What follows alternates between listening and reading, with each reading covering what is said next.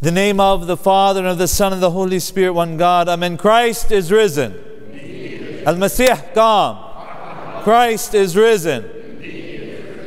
It's a joy to hear people respond when we, the priests, cry that out. I know we have about maybe 60, 70 people today, but I know there's still many people that we're speaking to from their homes, inside their homes, watching on their computers. So we are here and you're there, and we're all one family in the Lord. These are the first days that the church has been opened in a long time. And for about two months, we have felt paralyzed. We felt stuck. We felt as if there's no hope. I've been in this house and I can't go anywhere. I desire to see my family and I'm not supposed to leave.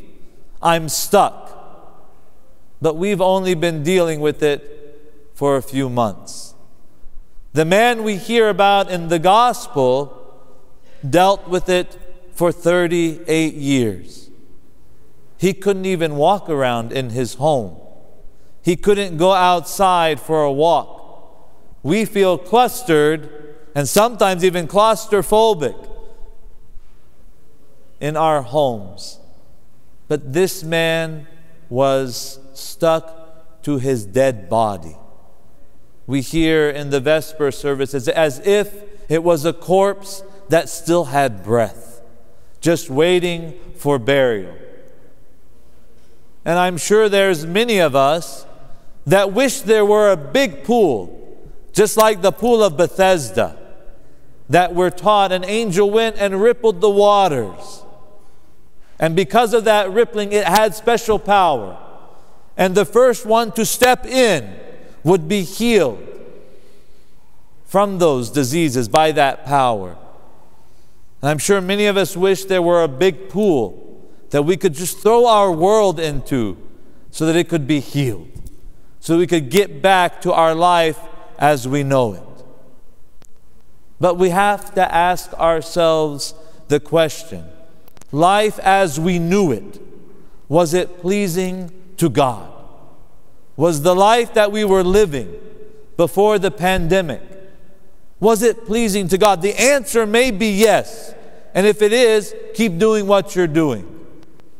But for many, we realize how much we don't need, how much of the world we thought we needed. And then we realize, even when we're in our homes, even when we can't come to 5311 Mercer Street, our good God dwells inside of us. Our good God can dwell inside of our homes. God is not limited to one physical location. You see, the healing that the Jews received was one little pool. And it only happened one time. Whenever the angel came to touch the waters. But we don't have one location. We don't have one time throughout the year. We have a God who chose to take on flesh, who chose to take all our infirmities and become human. The man that wanted to be healed today said, I have no man. I have no man to raise me up and to drop me into the pool. We, you, my brothers and sisters in Christ, you have a man. You have a God man. You have God who chose to become human and take on flesh. And He doesn't say, I'll be here just one day out of the year and only one of you will be healed. He says, I came that they may have life and have it abundantly. We've all got our mouths covered. Those that aren't here are cooped up inside their homes. And we may think, how can we have abundant life when we're so limited right now? But flip it around. Think how free we are. from all the constraints, all the busyness.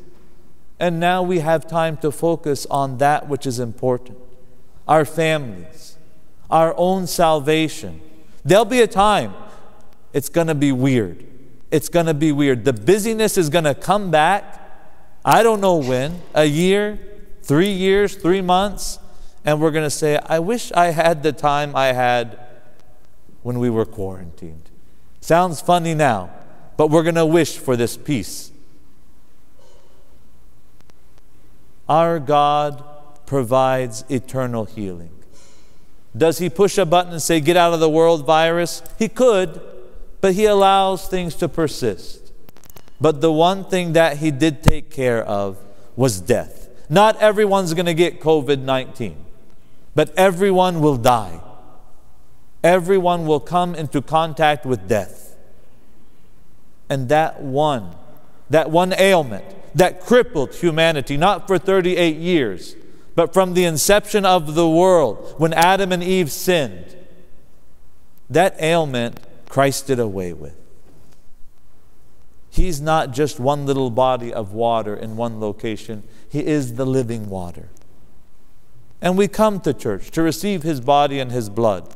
But even in our homes, we open up the Word, we open up the Scripture, and hear what He commands us to do to live in peace with our brothers and sisters, to forgive those who have offended us, to ask forgiveness if we have offended someone.